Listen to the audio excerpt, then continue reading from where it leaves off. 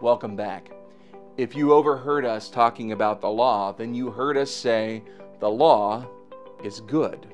The law is not bad. In fact, the law is perfect. It's the perfect will of God for His world and for His creatures, for you and me. The law is good, but the gospel is good news. That's what gospel means. The word we translate as gospel comes from the New Testament. It's the word euangelion, which is really just the word um, announcement or message or news with the word good smashed in front of it. It's a good announcement, it's a good message. The gospel is good news, specifically this that the God who made everything good according to his perfect will has accomplished in Jesus everything necessary to make it good again.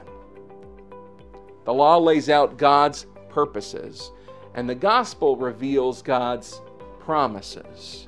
Promises that, that by faith, your sins are forgiven. The, the sins that the law reveals are no more. The gospel begins with the promise of justification.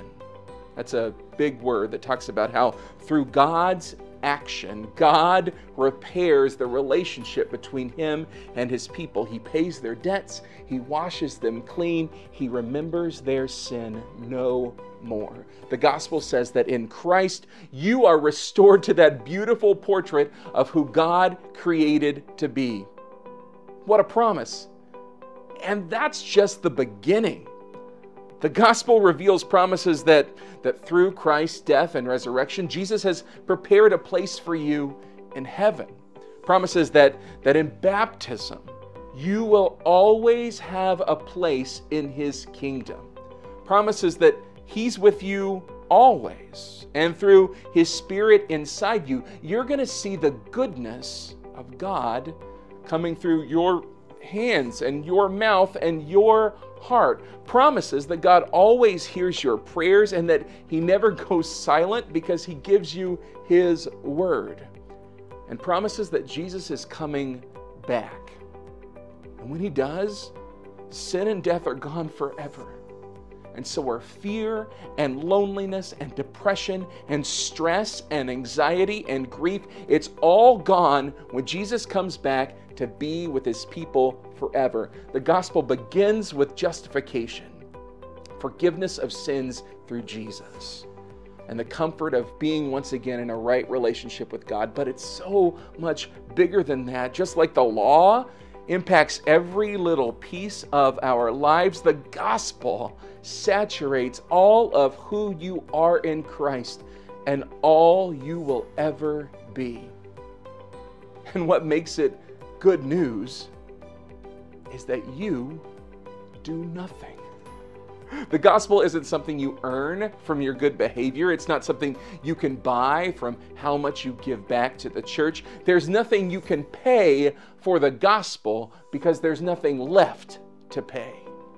The sin that, that shattered God's portrait of perfection, the sin is all heaped on Jesus. All the times we ignored or forgot or broke God's law, all those times are placed on Jesus and nailed with him to the cross.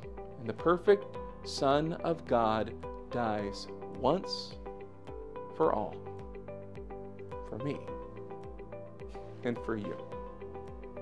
The gospel, the gospel is this that Jesus is for you no matter who you are, no matter what you look like, no matter what you've done, no matter what you've not done, no matter how old, how rich, how smart, how dirty, how confused, how sad, or how perfect you feel you are. Jesus died for you. Jesus rose for you. And Jesus is coming back for you. The gospel is a promise made by someone who can't break his promises.